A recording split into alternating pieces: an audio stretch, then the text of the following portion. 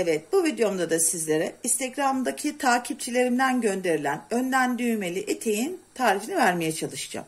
Şimdi benim elimde eteğimin pratik bir kalıbı var. Ben bununla ilgili bir video çektim ve onda da anlattım. Bu kalıbı direkt kumaşa da çizebilirsiniz. İlla kalıp çıkarmanıza hiç gerek yok. İlk önce bunu söyleyeyim. Yani illa ben bu kalıbı çıkaracağım diye bir şey yok. Belinizi, kalçanızı aynı şekilde kumaşa da yapabilirsiniz. Şimdi hadi gelin eteğimizin şimdi önünde düğme var. İlk önce ön kısmını düz olarak düz olarak kesiyorum. Kumaşımın ön kısmını düzeltiyorum. Şimdi şöyle biraz karanlık oldu. Evet ışık yansıması oluşuyor. Şimdi düz yaptığım yere bakın eğer iliğinizin öndeki yeri kalın dursun ön düğme çünkü etekte e, güzel daha güzel hoş durması için 3'er santim yapabilirsiniz. Ama kumaşınız yetmiyorsa da 2,5 santimden veya 2 santimden de iliği yapabilirsiniz. İlla 3 santimden yapmanıza gerek yok. Ben daha net görülsün istediğim için şimdi bu şekilde yapacağım. Şimdi ben 3 santimden ilk önce 3 santimden şu şekilde bir göstereceğim. Üçer santimden yapabilirsiniz. Bunu daha önce de göstermiştim. Bir de ayrıyetten bir santim veya bir buçuk santim ilk önce arkayı da kıvırıp bakın onu da göstereceğim. Tekrar üçer santimi çizebilirsiniz. Bunu da daha önceki bir videomda da anlatmıştım. Şöyle yapalım. Bakın ilk bir santimi çevirdiğinizde şu bir santimi çevirdiğinizde bu bu şekilde katlanır. Yani şu sülfüre yapılan yeriniz görünmez bu şekilde katlanır ama ilk yaptığımızdaki gibi yaparsanız şu şekilde yani bu şekilde sülfüre yaptığınız yer bu şekilde görünür ama kumaşınız yetmezse dediğim gibi bu şekilde yapabilirsiniz ve düğme ilik açacağınız yere 2 veya iki buçuk yapabilirsiniz. Şimdi ben her iki tarafı da çizdim. Şimdi şöyle arka tarafını arka tarafını bir buçuk santimli olan yeri işaretleyelim.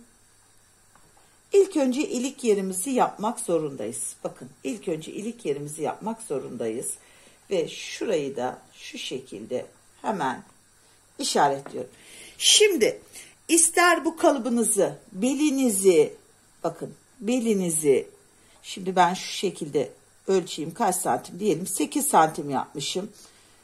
Oradaki yeri. Bu 8 şimdi şöyle 8 beliniz beliniz şöyle 8'i alayım bir yarısında 17 17 şimdi beliniz beliniz diyelim ki 70 diyelim 85 mezrayı ikiye katlıyorsunuz tekrar dörde katlıyorsunuz. Bu şekilde işaretliyorsunuz. Yani dörde katladığınız yerin bir çeyreği yarısını buraya çizmiş oluyorsunuz. Bakın aynı şekilde. Şimdi belle kalça arası 20 santimdir. Bunu sürekli tarif etmeye çalışıyorum. Ama burası ben minyatür yapıyorum. Şimdi minyatür kalıbımda kullandığım santime bir bakayım. 6 santim ayarlamışım.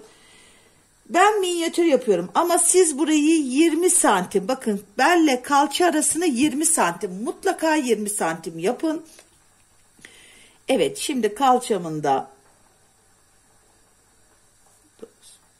bakın şimdi siz bel, kalçanız beliniz 70'ti kalçanız 75 beliniz 80'di kalçanız 85. Aynı şekilde bunu mezrayı katlıyorsunuz. Tekrar dörde katlayıp kalçanızın olduğu yere çiziyorsunuz. Bakın bununla ilgili birçok kanalımda videom bulunmakta. Kalça kavislidir. Şu şekilde kalçayı da çiziyorsunuz. Bakın elimdeki kalıpla yine yapmadım. Siz hani net bir şekilde bunda da görün diye boyumuna kadar yapmışım. Bakıyorum 17 santim minyatürümde 17 santim yapmışım. Siz belden ne kadar uzunlukta istiyorsanız o şekilde yapıyorsunuz. Şimdi boyumu ayarlıyorum. Bir kalçamdan kalçamdan bakın kalçamdan şu şekilde işaretliyorum. Eğer ki daha geniş istiyorsanız bununla ilgili öbür videomda da var. Kalçadan çan şekilde yani çan istiyorsanız kalçadan çan şekilde şöyle göstereyim kumaşımın üzerinde. Çünkü bu kumaşımı minyatür yapacağım diye küçük aldım elime. Şöyle göstereyim size. Bu şekilde dışarıya doğru çan şekilde de yapabilirsiniz. Evet gördüğünüz gibi şimdi hemen eteğimi kesiyorum. Minyatür hazırladım ama içim rahat etmedi. Beni çok böyle acemi, yeni başlayan, dikiş öğrenen arkadaşlar takip ediyor. Bunu çok iyi biliyorum. Onların adını da düşünerekten tekrar bu şekilde ayarladım. Şimdi iki tane ön oluştu. Bakın iki tane ön oluştu. Önleri şöyle alıyorum. Gördüğünüz gibi ilk önce şu biri santimi ayarlıyorum. Bakın sonra ikinci çizdiğim yer burayı şu şekilde hemen makineden dikeceğim yeri iğneliyorum. Şu şekilde makineden burası dikeceğim yer. Hemen burayı iğneliyorum. Şimdi ikinci yerim Evet burayı iğneledikten sonra gördüğünüz gibi altta kalacak ikinci yerimde şurayı iyice net çizeyim görün. Birbirinin üstüne bindireceğimiz yer burası kalan. Şimdi karşı tarafı da aynı şekilde yapıyorum. Evet karşı tarafı da aynı şekilde katladım. Şöyle çizeyim net bir şekilde görün. Bu da buranın üzerine biniyor ve gördüğünüz gibi önden düğmeli eteğimin oluşumu bu şekilde. Dikimini tarif etmiyorum çünkü kanalımda birçok etek dikim ve tariflerim var. Buradan sonrasını eminim zaten yapacağınıza benim kanalımdaki dar etek kalıbını, dar etek kalıbını izleyin. Ondan sonra zaten net bir şekilde orada çan ve büzgü neler yapılacağını tarif ediyorum. Bu da düğmeli bir şekilde nasıl önden düğmeli yapabiliriz? Bunun tarifini vermeye çalıştım. Bugün de sizlere bu kısa videomda şuralara da iliklerinizi şöyle açalım. Buralara da iliklerinizi açıyorsunuz ve alta düğmeleri dikiyorsunuz. Bu tarifi vermeye çalıştım. Evet arkadaşlar bugünkü videomda da sizlere bana Instagram'dan gönderilen önden düğmeli eteğin tarifini vermeye çalıştım. Kanalıma abone olup hiç dikiş dahi bilmiyorsanız 400'e yakın videomla sizlere dikiş öğretiyorum. Hepsini ama hepsini izleyerek siz de dikişi öğrenebilirsiniz.